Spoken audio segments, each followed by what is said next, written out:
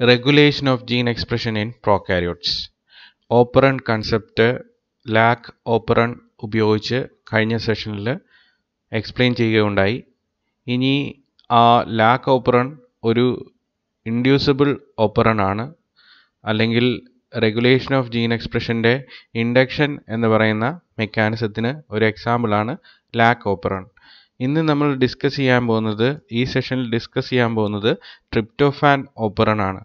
Tryptophan operon ഒരു repressible സിസ്റ്റമാണ് ഇപ്പോൾ റെഗുലേഷൻ ഓഫ് ജീൻ എക്സ്പ്രഷന്റെ ഇൻട്രൊഡക്ഷനിൽ പറഞ്ഞിട്ടുണ്ടായിരുന്നു രണ്ട് തരത്തിലുള്ള മെക്കാനിസം വഴി ജീൻ എക്സ്പ്രഷനെ റെഗുലേറ്റ് ചെയ്യാൻ പറ്റും ഇൻഡക്ഷനും റിപ്രഷനും ഇൻഡക്ഷന് എക്സാമ്പിൾ നേരത്തെ പറഞ്ഞ ലാക്ക് ഓപ്പറൺ ആണ്. ഇനി റിപ്രസിബിൾ സിസ്റ്റത്തിന് ഒരു എക്സാമ്പിളാണ് ട്രിപ്റ്റോഫാൻ ഓപ്പറൺ ഇപ്പോൾ ഫീഡ്ബാക്ക് റിപ്രഷൻ എന്ന് പറയുന്ന മെക്കാനിസം എന്താണെന്ന് നോക്കാം. നിങ്ങൾക്ക് എല്ലാവർക്കും അറിയാം ട്രിപ്റ്റോഫാൻ എന്ന് പറയുന്നത് വളരെ ഇമ്പോർട്ടന്റ് ആയിട്ടുള്ള ഒരു അമിനോ ആസിഡാണ് ഈ കോളി പോലെയുള്ള ഓർഗാനിസത്തിൽ പലതരത്തിലുള്ള പ്രോട്ടീൻസും പോളിപെപ്റ്റൈഡ്സും സിന്തസൈസ് ചെയ്യണമെങ്കിൽ ഈ അമിനോ ആസിഡ് ആവശ്യമാണ്. ഈ കോളിക്ക് ഈ ട്രിപ്റ്റോഫാനെ സിന്തസൈസ് ചെയ്യാൻ വേണ്ടിയിട്ട് അഞ്ച് എൻസൈംസ് ഉണ്ട്. ഈ അഞ്ച് എൻസൈംസിനെ കോഡ് ചെയ്യുന്ന ജീൻസ് ഒരു പോളിസിസ്ട്രോണിക് മെസ്സേജ് ആയിട്ടാണ് എക്സിസ്റ്റ് ചെയ്യുന്നത്. അപ്പോൾ ട്രിപ്റ്റോഫാൻ ഓപ്പറന്റെ മെയിൻ ആയിട്ടുള്ള കോമ്പോണന്റ് എന്ന് പറയുന്നത് ഈ അഞ്ച് എൻസൈംസിനെ കോഡ് ചെയ്യുന്ന കോഡിംഗ് റീജിയൺ ആണ്. അപ്പോൾ ട്രിപ്റ്റോഫാൻ സെല്ലിനകത്ത് ഇല്ലെങ്കിൽ ഈ കോളിയുടെ സെല്ലിനകത്ത് ട്രിപ്റ്റോഫാൻ കംപ്ലീറ്റ്ലി ആബ്സെന്റ് ആണെങ്കിൽ ഈ പർട്ടിക്കുലർ ജീൻസ് ആക്ടിവേറ്റഡ് ആവും. അതായത് അഞ്ച് എൻസൈംസ് ഉപയോഗിച്ചിട്ടാണ് ട്രിപ്റ്റോഫാൻ ഉണ്ടാകുന്നത്. അപ്പോൾ ട്രിപ്റ്റോഫാൻ ഈ കോളിയുടെ ശരീരത്തിലില്ലെങ്കിൽ ആ ഇല്ലാത്ത അവസ്ഥയിൽ ട്രിപ്റ്റോഫാനെ സിന്തസൈസ് ചെയ്യാൻ വേണ്ടിയിട്ടുള്ള അഞ്ച് എൻസൈംസിനെ കോഡ് ചെയ്യുന്ന ജീൻസ് ആക്ടിവേറ്റഡ് ആവും. അപ്പോൾ ഈ ഓപ്പറൺ ഓൺ പൊസിഷനിലായിരിക്കും ഇനി ട്രിപ്റ്റോഫാൻ സെല്ലിനകത്തേക്ക് കൂടുതലായിട്ട് സിന്തസൈസ്ഡ് ആയി കഴിയുമ്പോഴേക്കിന് അതായത് ഈ അഞ്ച് എൻസൈംസിന്റെ ആക്ഷൻ വഴി ട്രിപ്റ്റോഫാന്റെ എമൗണ്ട് സെല്ലിനകത്ത് മോർ ദാൻ സഫീഷ്യന്റ് ആയിട്ട് കൂടുമ്പോഴേക്കിന് എന്ത് സംഭവിക്കും? ഈ അഞ്ച് എൻസൈംസിനെ കോഡ് ചെയ്യുന്ന ജീൻസിന്റെ എക്സ്പ്രഷൻ സ്റ്റോപ്ഡ് ആവും. ഇതിനെയാണ് ഫീഡ്ബാക്ക് റിപ്രഷൻ എന്ന് പറയുന്നത്. ഇപ്പോൾ ട്രിപ്റ്റോഫാൻ എന്ന് പറയുന്ന അമിനോ ആസിഡ് ഇവിടെ എൻഡ് പ്രോഡക്റ്റ് ആണ്. ആ എൻഡ് പ്രോഡ പ്രോഡക്റ്റിന്റെ അഡീഷൻ ആ പ്രോഡക്റ്റിനെ ഉണ്ടാക്കുന്ന എൻസൈംസിനെ കോഡ് ചെയ്യുന്ന ജീനിന്റെ എക്സ്പ്രഷനെ സ്റ്റോപ്പ് ചെയ്യും. അതാണ് റിപ്രസബിൾ സിസ്റ്റം അല്ലെങ്കിൽ ഫീഡ്ബാക്ക് റിപ്രഷൻ എന്ന് പറയുന്നത്. ഇനി ട്രിപ്റ്റോഫാൻ ഒപ്പറിന്റെ ഡിഫറെന്റ് പോർഷൻസ് നമുക്ക് ഒന്ന് നോക്കാം.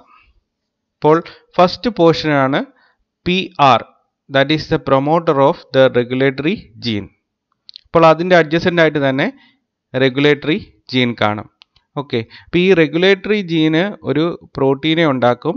ആ പ്രോട്ടീൻ സാധാരണ രീതിയിൽ റിപ്രസർ പ്രോട്ടീൻ എന്നാണ് അറിയപ്പെടുന്നത്.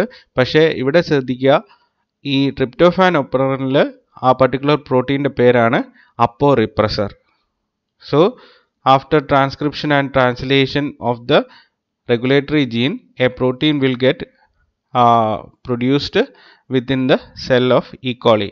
That particular protein is known as apo-repressor. So, PR is the uh, promoter of the uh, regulatory gene R. regulatory gene ആണ് എന്തിനെ ഉണ്ടാക്കുന്നത് അപ്പോ റിപ്രസർ എന്ന് പറയുന്ന പ്രോട്ടീനെ ഉണ്ടാക്കുന്നത് ഇനി അടുത്ത പോർഷനാണ് P T R P P trp എന്ന് പറയുന്ന പോർഷൻ അത് ട്രിപ്റ്റോഫാൻ ഒപ്പറിന്റെ സ്ട്രക്ചറൽ ജീൻസിന്റെ പ്രൊമോട്ടറാണ് അതായത് ആർ എൻ എ പോളിമറൈസിന് സ്ട്രക്ചറൽ ജീൻസിന്റെ പൊസിഷൻ എവിടെയാണെന്നുള്ളത് സിഗ്നൽ ചെയ്യുന്ന റെഗുലേറ്ററി റീജിയനാണ് പി ടി ആർ പി എന്ന് പറയുന്നത്.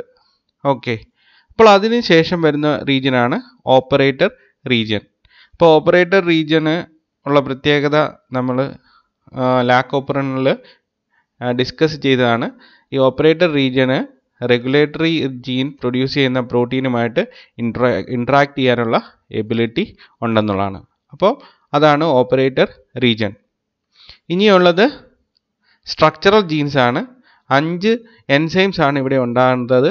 ആ അഞ്ച് എൻസൈംസിനെ കോഡ് ചെയ്യുന്ന അഞ്ച് പോർഷൻസ് നിങ്ങൾക്ക് ഇവിടെ കാണാൻ സാധിക്കും. Trp E trp D trp C trp B trp A നമ്മൾ E D C B A എന്ന് പറയുന്ന പോളിസിസ്ട്രോണിക് മെസ്സേജ് എന്ന് പറയും. ഓക്കെ അപ്പോൾ ഇവിടെ structural genes E D C B A നിങ്ങൾക്ക് കാണാൻ സാധിക്കും. ഓക്കെ അപ്പോൾ ഇതിന്റെ പോർഷൻസ് ഒന്നുകൂടെ പറയാം.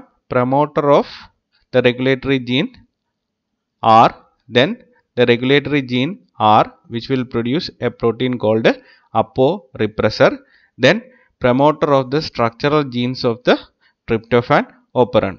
Then operator region which will interact the protein produced by the regulatory gene.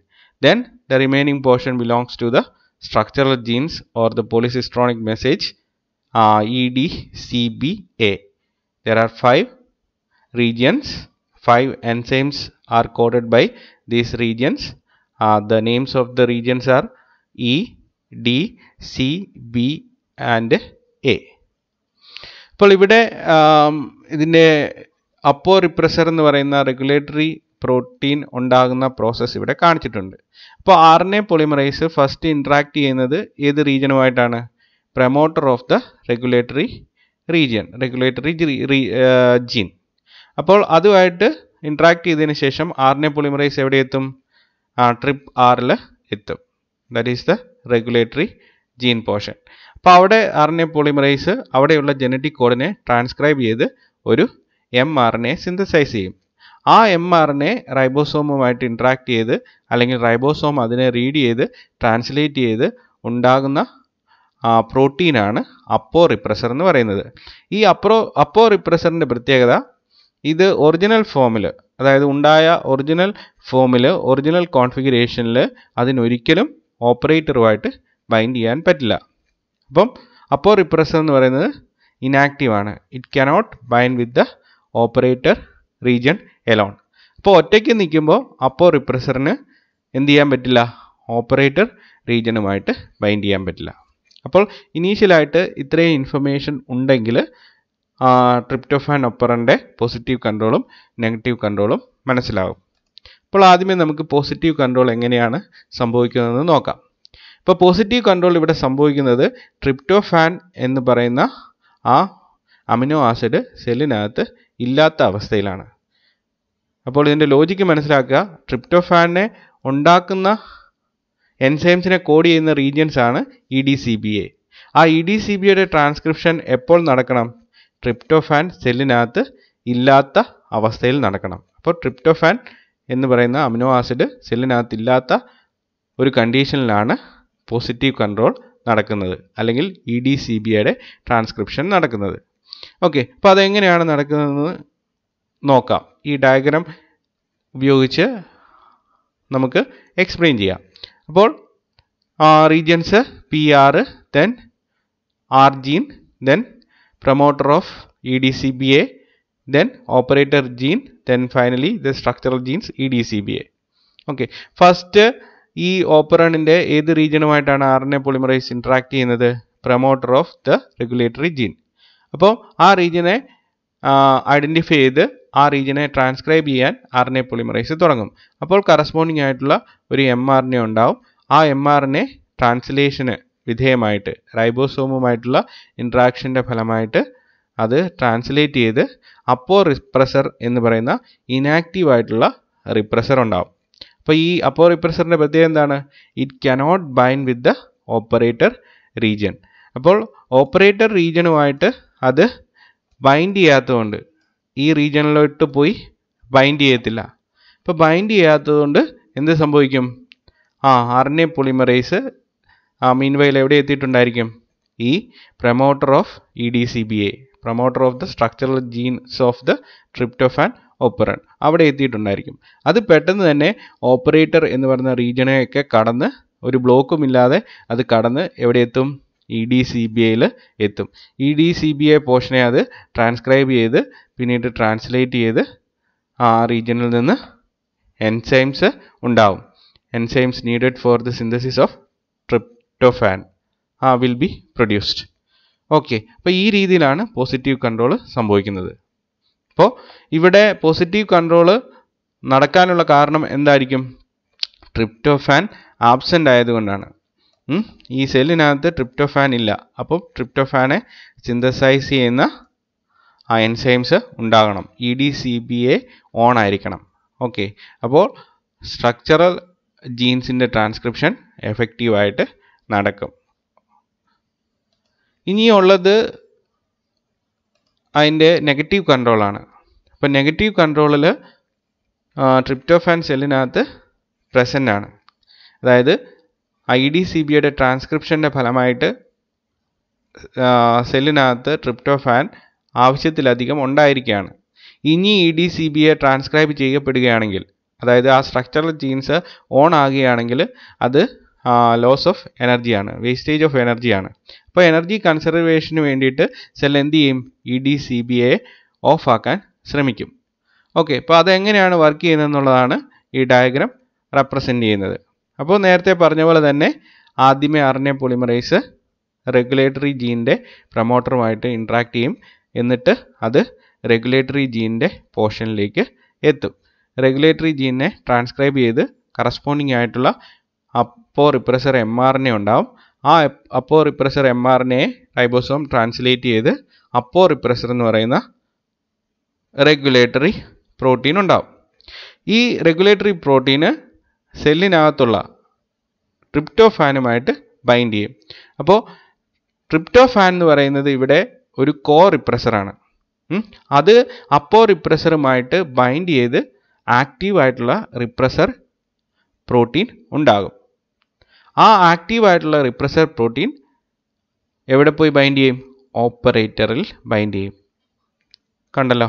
അപ്പോൾ ഓപ്പറേറ്ററിൽ ബൈൻഡ് ചെയ്യുമ്പോൾ നമ്മുടെ ആർ എൻ എ പൊളിമറൈസ് ആ പ്രൊമോട്ടർ ഓഫ് ട്രിപ്പ് ആ റീജിയണൊക്കെ ഓവർകം ചെയ്ത് എങ്ങോട്ട് പോവുകയാണ്? ഇ ഡി സി ബി എയിലേക്ക് പോവുകയാണ്. പക്ഷേ ഓപ്പറേറ്റർ റീജിയണിൽ ഈ aporepressor corepressor complex വന്ന് ബൈൻഡ് ചെയ്തിരിക്കുന്നതുകൊണ്ട് ആർ എൻ എ പൊളിമറൈസിന് ഒരിക്കലും എവിടെ എത്താൻ പറ്റില്ല? ഇ ഡി സി ബി ഐയിൽ എത്താൻ പറ്റില്ല. അതിന്റെ അർത്ഥം ഇ ഡി സി ബി യുടെ ട്രാൻസ്ക്രിപ്ഷൻ നടക്കത്തില്ല. അല്ലെങ്കിൽ E D C B A turned off ആയിട്ടുള്ള ഒരു കണ്ടീഷനിലായിരിക്കും. അഞ്ച് എൻസൈംസും ഉണ്ടാവത്തില്ല. ട്രിപ്റ്റോഫാൻ ഫർദർ ആയിട്ട് സിന്തസൈസ് ചെയ്യപ്പെടത്തില്ല. ഓക്കെ. അപ്പോൾ ഇവിടെയുള്ള കീ ആയിട്ടുള്ള കൺട്രോൾ മെക്കാനിസം ട്രിപ്റ്റോഫാന്റെ പ്രസൻസും അതുപോലെ തന്നെ ട്രിപ്റ്റോഫാൻ അപ്പോ റിപ്രസറുമായിട്ട് ചേർന്ന് ആക്റ്റീവ് റിപ്രസർ ഉണ്ടാകുന്നതുമാണ് ഈ ആക്റ്റീവ് റിപ്രസറിന് എന്ത് ചെയ്യാൻ പറ്റും? ഓപ്പറേറ്ററുമായിട്ട് ബൈൻഡ് ചെയ്യാൻ പറ്റും. ഓക്കെ അപ്പം മെക്കാനിസം ഒന്നുകൂടെ ശ്രദ്ധിക്കുക.